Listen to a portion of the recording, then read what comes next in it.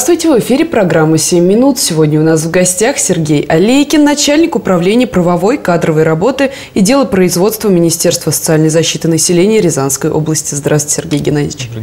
А, вы занимаетесь предоставлением бесплатных юридических услуг населению. Расскажите, пожалуйста, подробнее о своей работе и какие виды а, услуг конкретно вы предоставляете.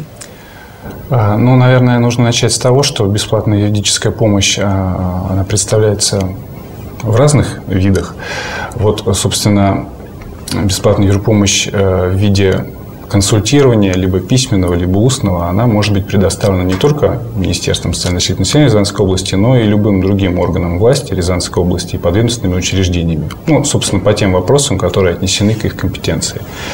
А, то, что касается представления бесплатной юридической помощи в виде э, составления каких-либо э, правовых документов. Это могут быть э, ходатайства, заявления, запросы, все что угодно то эти виды бесплатной юридической помощи представляют органы власти, которые определены как входящие в так называемую государственную систему предоставления бесплатной юридической помощи. В Рязанской области это Министерство топливно-энергетического комплекса жилищно-коммунального хозяйства, это Министерство имущественных и земельных отношений, Министерство здравоохранения, Министерство соцзащиты э, и Министерство труда и занятости населения.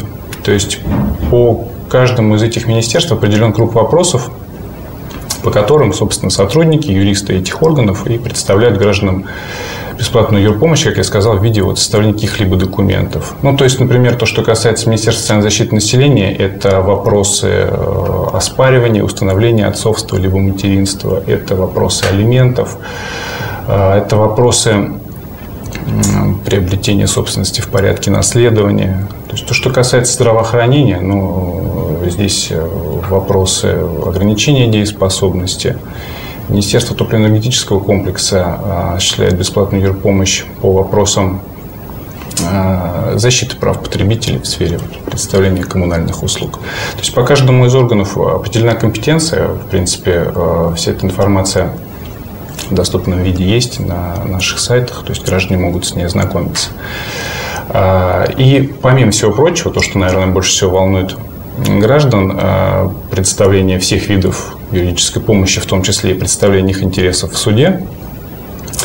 А, эту юридическую помощь а, представляют адвокаты Рязанской области, с которыми у нас заключено соглашение.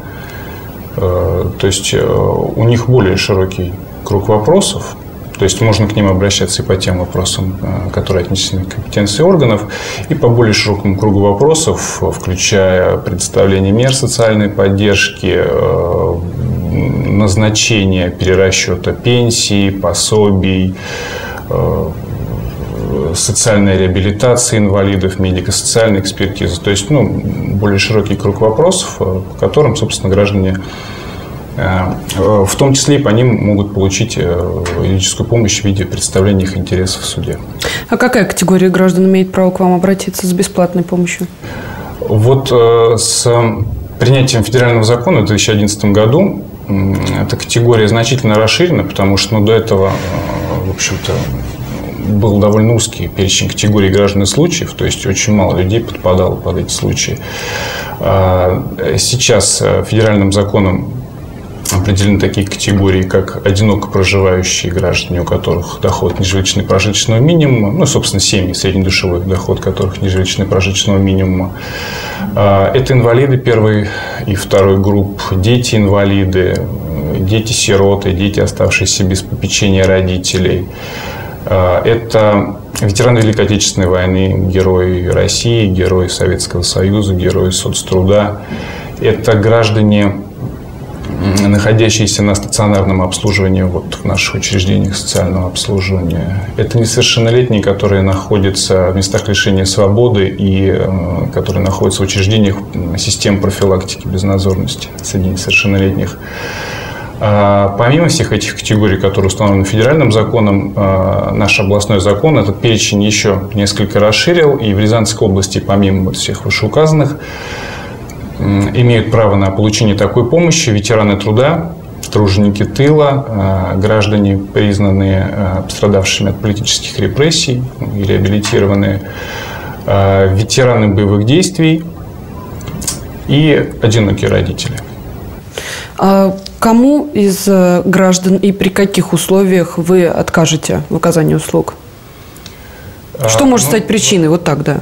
Ну, во-первых, когда гражданин обращается ну, неважно к кому, в орган или к адвокату, да, то есть надо понимать, что бесплатная юридическая помощь, она предполагает, ну, некую правовую составляющую вопроса. То есть, э, помимо того, что у гражданина какие-то вопросы возникают там по, по поводу документа, то, что можно отнести к консультированию, для э, подготовки документов, например, для подготовки там, искового заявления в суд или каких-то ходатайств, все-таки нужны ну, правовые основания, потому что юрист оценивает те сведения, те документы, которые представляет гражданин, именно с правовой точки зрения.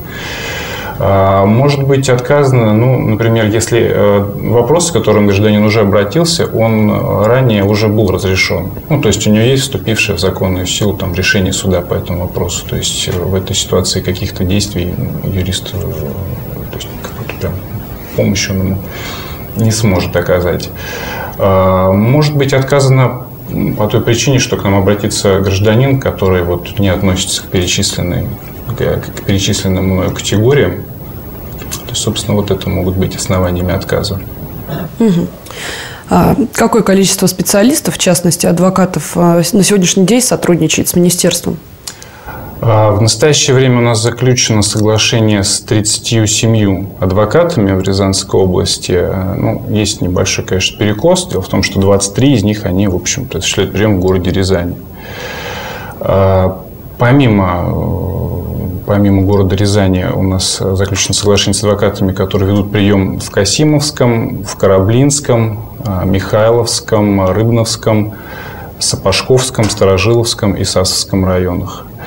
Мы надеемся, что в будущем, ну, мы сейчас вот, собственно, проводим работу по заключению соглашения с адвокатской палатой на следующий календарный год. И вот по итогам работы за этот год, я думаю, что мы обсудим в том числе возможности увеличение количества адвокатов. Последний вопрос. По каким же дням, в какое время э, к вам могут обратиться граждане? И какой пакет документов необходимо иметь при себе, чтобы, как говорится, да, не получить отворот-поворот? Понятно.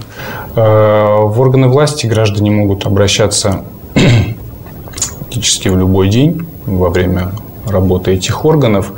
Э, то же самое с подведомственными учреждениями. То, что касается адвокатов, то есть вот э, с, со списком адвокатов, с их адресами, э, с контактными телефонами, с расписанием их приемных дней и часов, можно ознакомиться на нашем сайте Министерства. То, что касается документов, гражданин, ну, во-первых, он должен при себе иметь документ, удостоверяющий личность.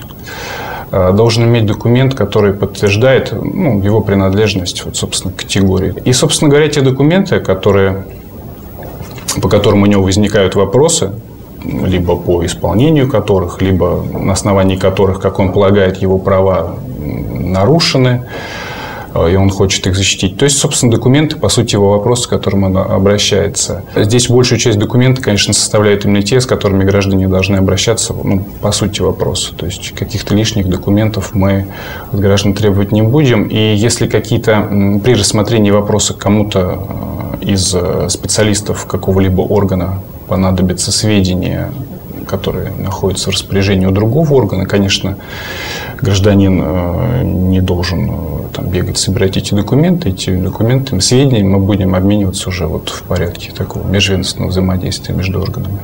Спасибо вам большое. Спасибо, что пришли к нам в гости. Сергей Геннадьевич, было очень приятно с вами побеседовать. Это была программа «7 минут». Скоро с вами увидимся. Всего вам хорошего.